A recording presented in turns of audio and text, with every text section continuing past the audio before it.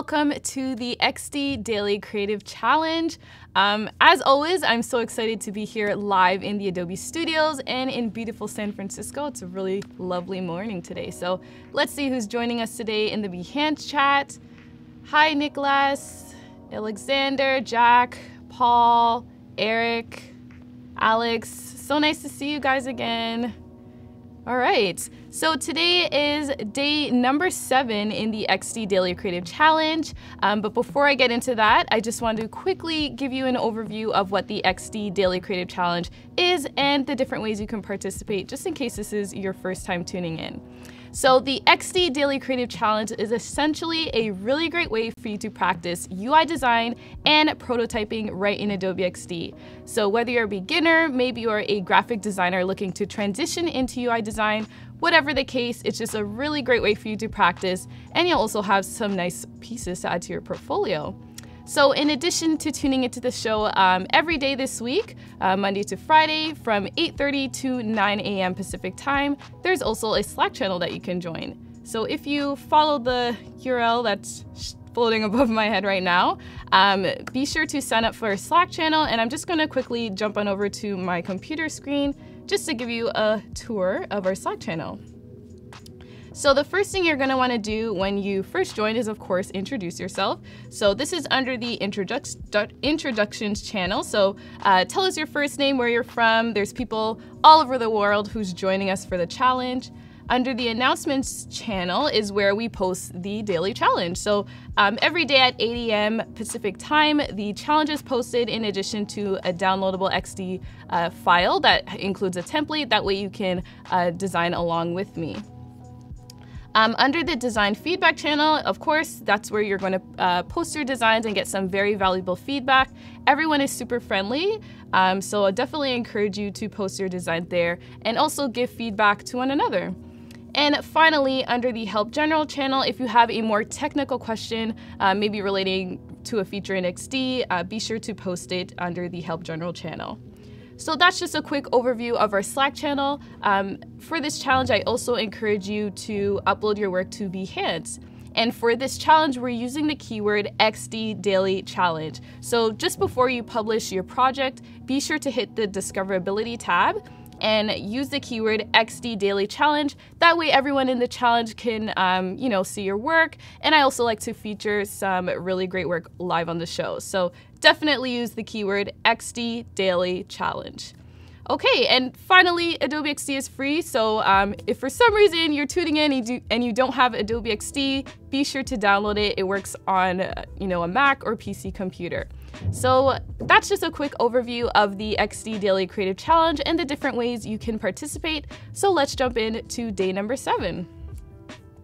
So I'm going to head on over to my um, XD file and for day number seven, we will be prototyping a desktop experience to rent a movie, which is inspired by iTunes. So as you can see, here's our template. We have two artboards. Um, and of course, on the left-hand side, we have a section where you can get inspired. And um, I've included some screenshots of iTunes. And as you can see, uh, there's a nice featured area where the featured movies or I guess new releases are. And below there's just um, the new and noteworthy movies and all the movie covers. And below that we have a single movie page and it all the photo that they're using at the top in the featured area um, there's colors that are, have been pulled and it's just creating a really nice theme based on um, the movie image. And below we have some suggested color schemes, so definitely be creative and you know feel free to uh, pick any color you like or you know I'll show you later on on how you can you know pick colors from a photo, but we have some suggested colors here and finally we have some additional resources. Okay, so um, as I mentioned earlier, here, here are our two artboards. Um, so in this top section in the template, we have um, where we're gonna put our featured image of the movie that we're selecting. Below we have a movie genres area, so um, this can turn into a really nice repeat grid. You can just select it, press Command R, and drag out a few more of this element, and then you can also hover in between add some padding, and then you can create a nice movie genre section. And of course, below we have um, the additional movies that we're gonna feature. So I'm just gonna head on over to what I already kind of came up with. So let me know in the Behance chat if you've watched any Avenger movie, because this is the movie that we're gonna um, feature for now on this artboard. So I'm just gonna quickly show you how you can um, easily use the repeat grid to create the um, new and noteworthy section found on iTunes, just how to recreate that. So as you can see, it is in a repeat grid, but let me just quickly show you. So again, you could just select this, press Command R to turn it, activate the repeat grid. And then I'm just going to draw out five movies. So one, two, three, four, five. And I'm just gonna hover in between this spacing here and add some more padding. I think 50 is a good amount. So I'm just gonna grab the green handlebar below and I'm going to draw that out so I have two rows. And I'm going to add some more padding at the top.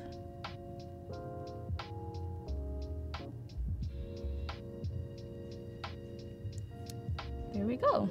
So um, I already have some movie covers that I'm going to um, add to the, or to populate the repeat grid because it's essentially just um, a bunch of images. So all I did is I just went on Google and I typed in movie covers, hit images, and then you can get a bunch of um, images of movie covers. So I'm just gonna grab them in a folder that I created. And I'm just going to select them all, drag and drop them and voila, we have our movie covers. So I'm just going to delete this image icon. And of course, um, once you have all your movie covers, you can always go in and um, update all the movie titles. Okay, so um, I'm just going to quickly show you how you can um, let's say you want to feature um, a movie and you want to remove the background and um, include, I guess, this really nice gradient that is a color pulled from one of the colors within the image. I'm just going to quickly show you how you can do that. So right now I am going to feature an image, or I'm going to make Deadpool 2 my Deadpool 2 my featured image. So I have a really nice Deadpool tool 2, I keep on saying tool, Deadpool, Deadpool 2 image that I got from Google. So I'm just gonna press Command Shift L and it's in my Creative Cloud library. So I wanna edit this in Photoshop. So I'm just going to right click on the image and press Edit. And it brings me into Photoshop. So now that I'm in Photoshop, um, I definitely want to remove the white background. And this might look a little challenging, especially since um, she's wearing a really, or sporting a really cool afro, um, but it's gonna be pretty challenging to remove the white background from her hair, but I'm gonna show you a really quick and easy way to do that. So all you need to do is in the top menu bar here, just press select and then click subject.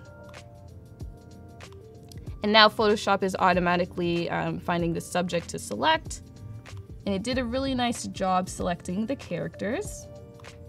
So I have the rectangular uh, marquee tool selected, so I'm just going to press select in mask. So now we're in the selecting mask view. So again, we want to make sure that um, the white around her hair is removed. So what I'm gonna do is I'm going to select the second brush in the toolbar here and it's the Refine Edge Brush Tool. So I'm going to zoom in.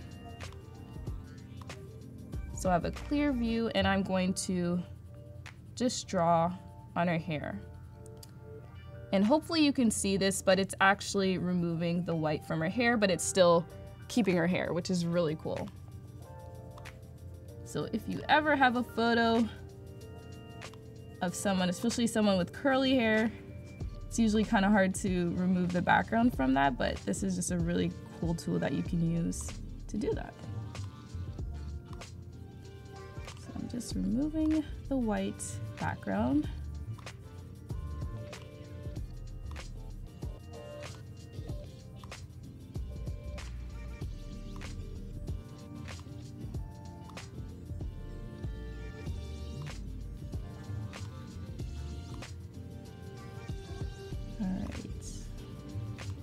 Almost done.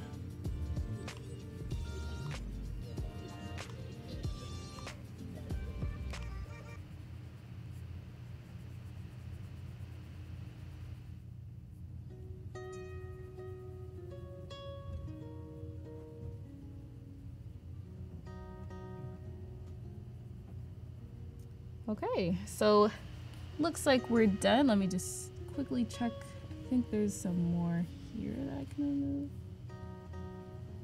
Here we go.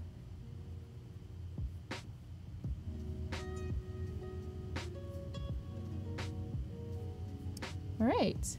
So also, it looks like the weapon here is being highlighted, a part of it, and we don't want to remove that. So what I'm gonna do is I'm gonna um, select the quick selection tool and I'm just going to click that and then it automatically um, removes it from the removal, I guess, color. So let me just make sure everywhere else in the photo is good. Looks like this area needs to be, oops. So I'm just gonna hit Alt on my keyboard um, to get the subtract tool. So let me just area really quickly. And if you wanna um, make your brush larger, you can just hit the right bracket on your keyboard. And if you wanna make it smaller, you can just hit the left bracket.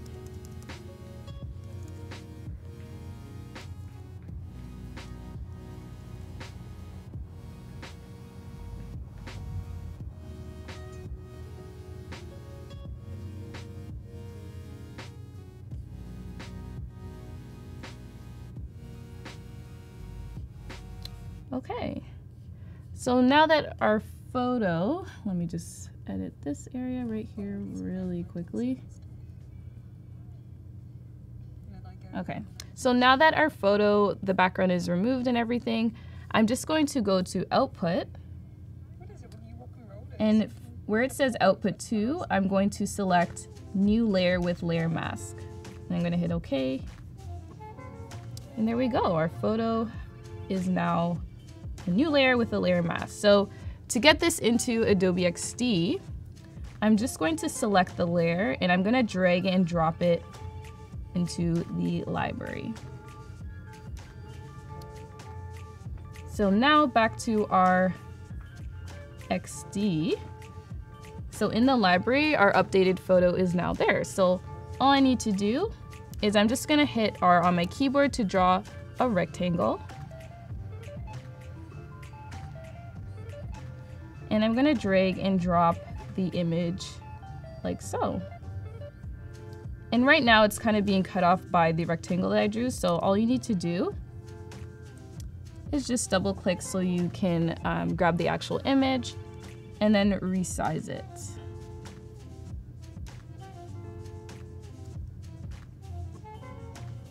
So there's a border, so let's remove that from the rectangle. And I also want to increase it, its size. So just going to make it a little bigger.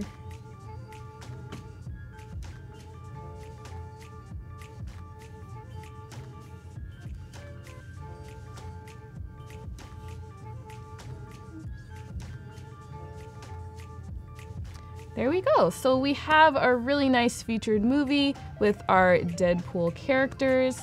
Um, so just really quickly, I wanna show you how we can grab some colors from this photo to create, um, I guess, a similar theme as our Avengers um, featured area. So um, right now we have this silver gradient, um, which is really nice. It looks good, but let's see if we could create a different theme. So I'm just going to select this um, gradient, which is in the colors area in the assets panel. So I'm just gonna right click on it and I'm gonna select edit. And as you can see, as I move around, it's updating the background because this is what we're using um, as the background here. So what I'm gonna do is I'm gonna grab the eyedropper tool. And again, this is a linear gradient and you can, you know, change it to a solid color if you'd like or a radial gradient, but I'm gonna keep it as a linear gradient. I'm gonna select the eyedropper, eyedropper tool. And I'm also going to select this first point in the gradient. And this is our top part of our gradient. So I'm just gonna select the eyedropper tool and I'm going to grab this area on the image. So now it's updated. So I'm gonna select the right, I guess, um, the right dot here in the linear gradient um, area. I'm gonna grab the eyedropper tool and I'm going to grab, let's see what this red would look like. Mm, that looks good. Let's see what this one will look like. Mm.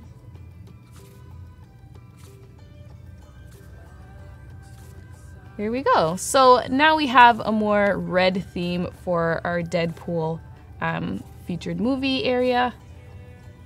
And we've also, you know, removed the background from our character image to kind of create this really nice um, featured movie area in our Rent a Movie app. So um, that's just how we create that. And I also showed you how to um, how you can update colors globally. So again, if you have an object with a color in the assets panel and you want to change the color of all those objects um, wherever it is on your artboard, all you need to do is just press or right click on the, color, press edit, and then it'll edit it um, globally. So that's just a really cool feature in Adobe XD. Okay, so um, I guess really quickly, I'm just gonna go over the single movie screen.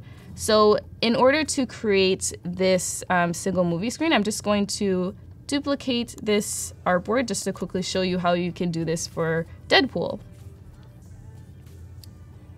So let me just remove this. So I'm going to press Command D to duplicate the image. And then I'm going to shrink it down like so.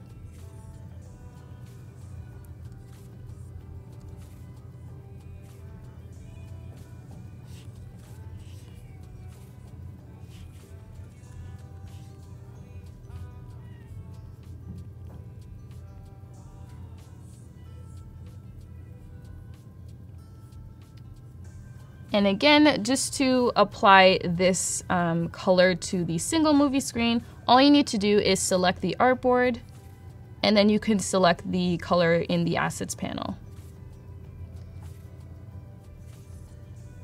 And let's say I wanted to change the color theme for both. Let me right click, press edit. And as you can see, they're both being updated. So again, this is just really cool and this is very efficient because you know it saves you time instead of having to go into each object and updating the color individually. So this is just a really great feature. So let me undo that. Mm.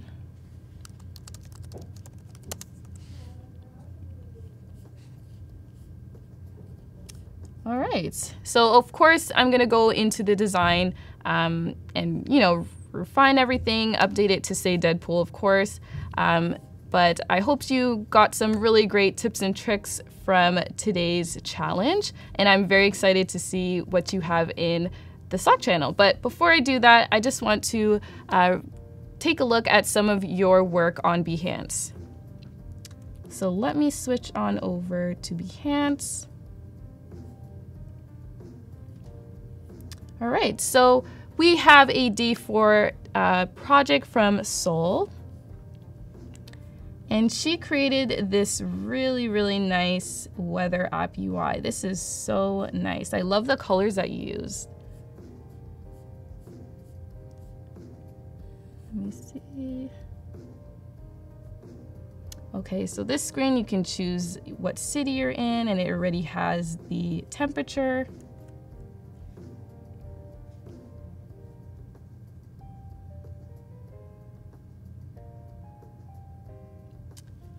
And this is really great.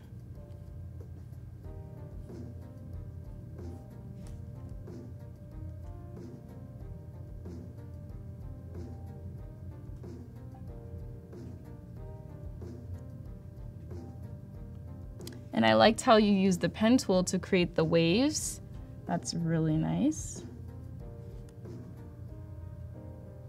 Oh, here's a prototype. This is a GIF.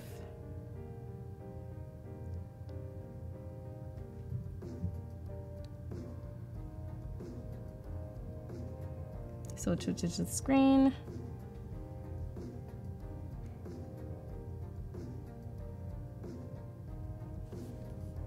Great job, Soul. This is really nice.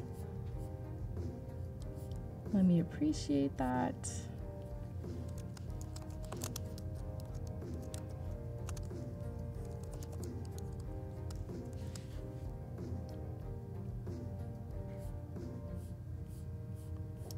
Great. Okay, so it looks like we have um, a little bit of time, so I'm just going to quickly show you how to um, export your designs into your Behance project. So really quickly, all you need to do is select the artboard and go to File, Export Selected. And I'm just going to export it as a PNG and for design. Gonna head on over to my Behance project.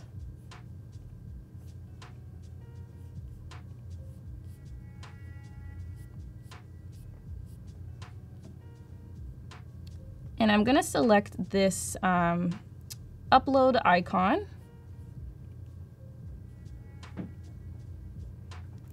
And I'm just going to open that. And now we have our Rent a Movie screen on our project. All right.